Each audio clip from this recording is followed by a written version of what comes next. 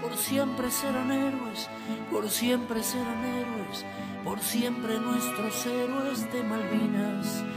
Y por siempre serán héroes, por siempre serán héroes, por siempre nuestros héroes de Malvinas. En el marco de la cuarentena que estamos atravesando por la situación que vivimos a nivel nacional y mundial de la pandemia coronavirus, queremos hacerles llegar a, a todos los hogares de la, de la comunidad educativa a través de, de las redes un recordatorio sobre esta fecha tan especial para nuestra nación.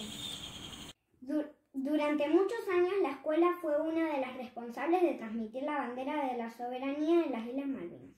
La frase las Malvinas son argentinas la era frecuente antes del 1982. La guerra llevada adelante por la última dictadura empañó esa tarea.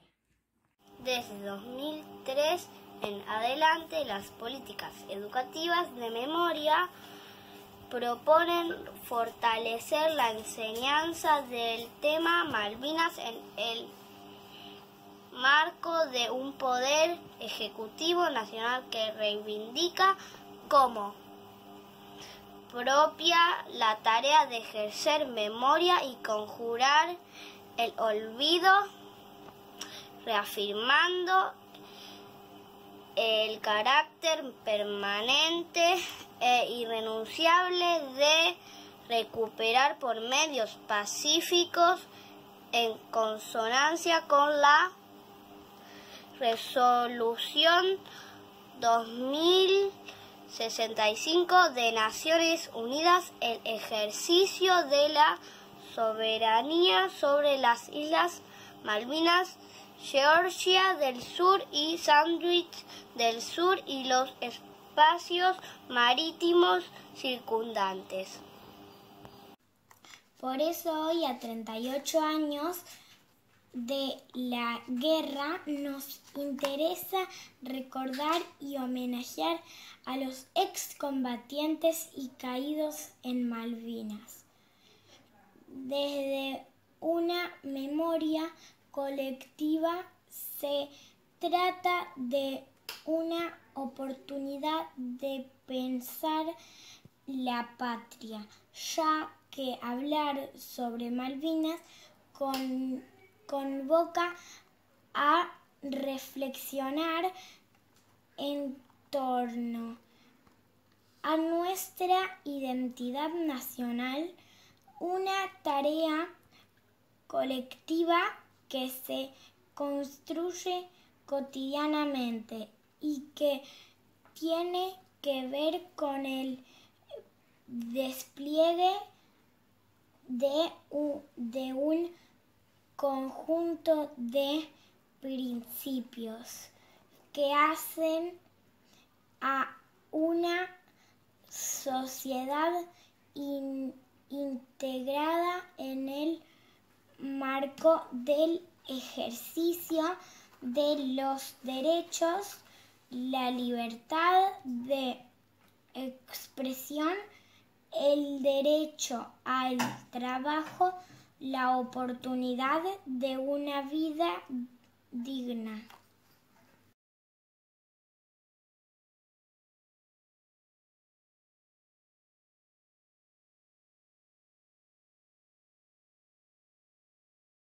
Hola chicos y chicas, voy a mostrar nuestro mapa donde están nuestras queridas islas Malvinas.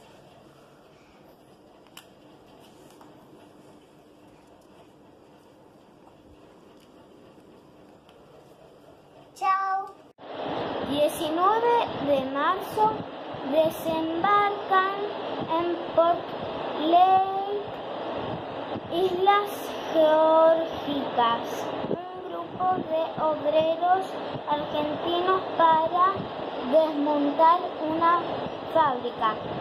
Entre ellos había comandos de la Marina. El desembarco de militares argentinos de Malvinas. Londres anuncia los envíos de fuerzas de tarea.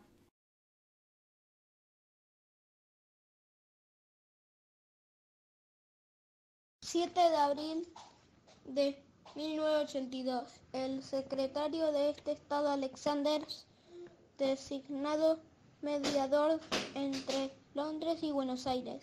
...hallar una solución justa y pacífica a la crisis.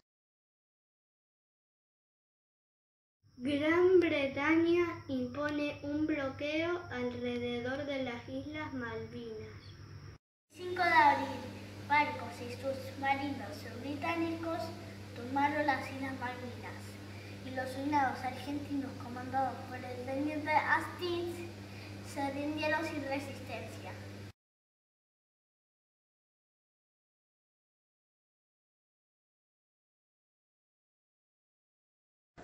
Aviones y búnker británicos arribaron el, el aeropuerto. Del puerto al, al Stanley y Darwin.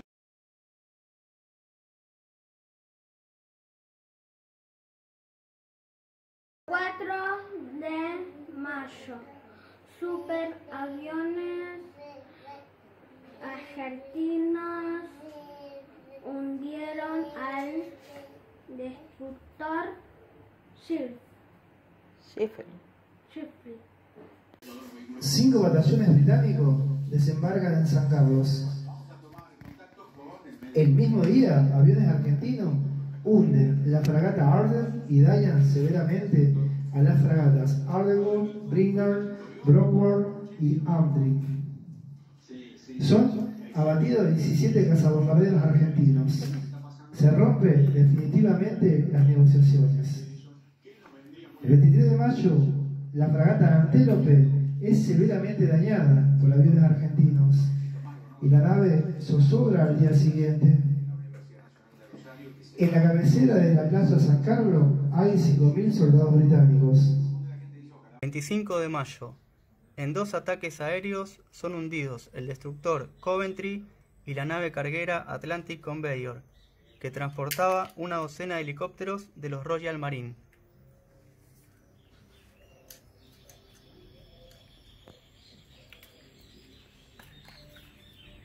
Y se hunde, se hunde.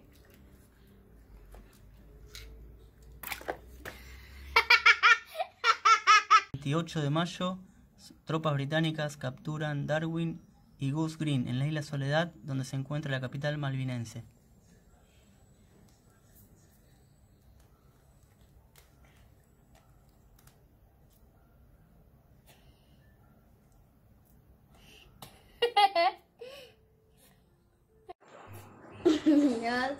Buques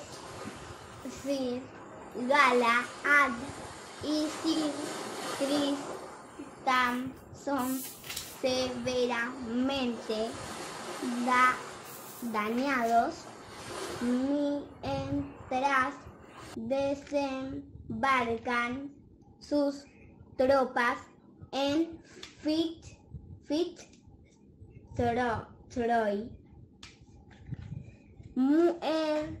Mueren 51 soldados británicos. El 12 de junio, el tercer batallón del regimiento paracaidista se lanza a la batalla del Monte London.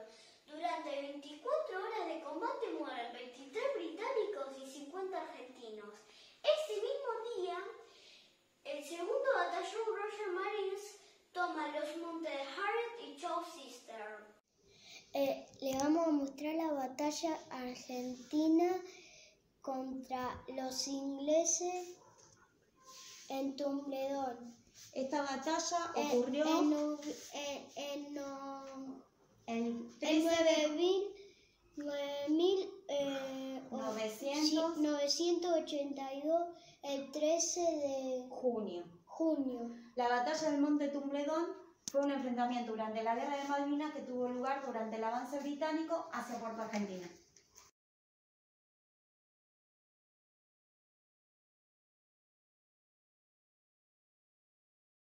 Nuestro mensaje a través de este video es llevarles a sus hogares un pedacito de historia.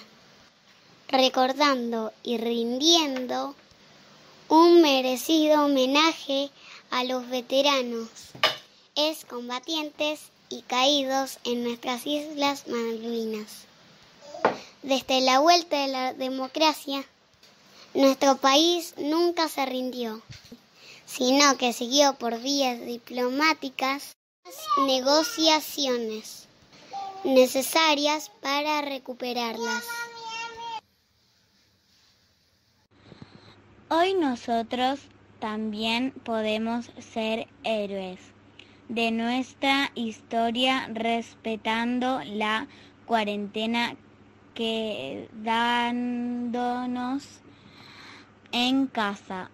No solo nos cuidamos a nosotros, sino a nuestros vecinos, amigos y seres queridos.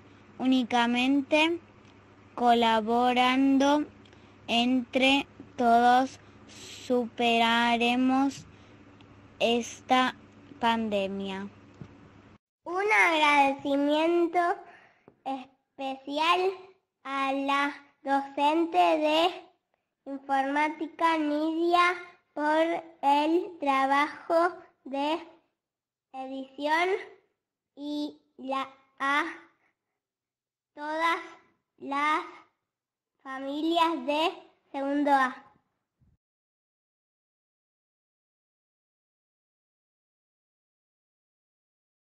Esperamos que hayan disfrutado de esta producción y los invitamos a seguir reflexionando sobre nuestra patria. Por siempre serán héroes, por siempre serán héroes, por siempre nuestros héroes de Malvinas. Y por siempre serán héroes, por siempre serán héroes, por siempre nuestros héroes.